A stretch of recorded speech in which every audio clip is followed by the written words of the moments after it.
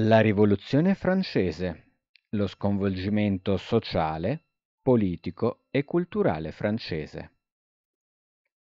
Parole chiave: club, organizzazioni politiche. Rivoluzione, movimento di rinnovo. Ghigliottina, dispositivo per decapitare.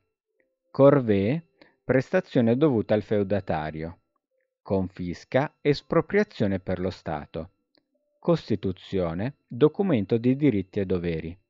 Censo, beni e ricchezze posseduti. A partire dalla Rivoluzione francese da Napoleone, i frutti dei vari progetti di liberazione dell'umanità non hanno cessato di tradursi in oceani di sangue. Angela Pellicciari La situazione in Francia. Luigi XVI manteneva la società in pieno sistema feudale. I nobili e il clero non pagavano tasse e sperperavano quelle versate dal terzo Stato. Le casse dello Stato erano vuote e la carestia affliggeva le campagne. Club dei Giacobini.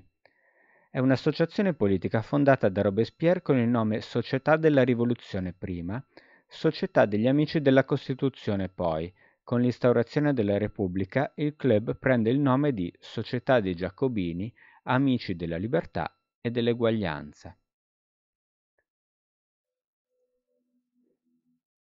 Gli Stati Generali. Il 5 maggio 1789 Luigi XVI convoca gli Stati Generali per votare nuove tasse.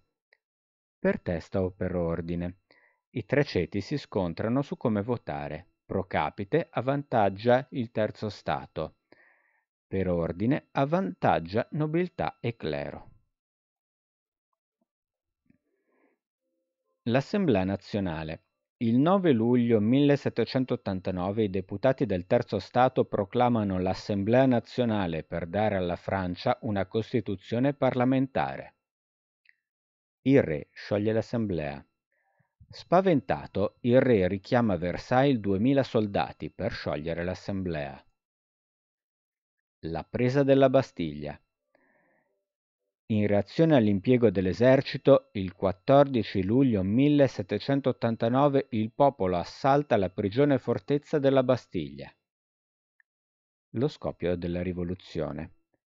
I deputati instaurano la Guardia Nazionale, comandata dal marchese Lafayette, per difendersi dai soldati del re e dal popolo. Fine del feudalesimo. Grande paura. I contadini, esasperati, assaltano e depredano castelli e monasteri. Corvée.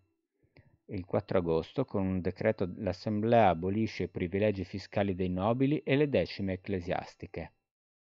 Dichiarazione dei diritti. Il 26 agosto 1789 i deputati scrivono la Dichiarazione dei diritti dell'uomo e del cittadino, con molti principi ancora oggi validi.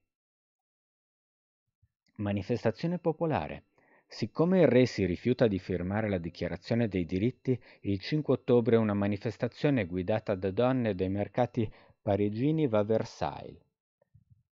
Costituzione civile del clero.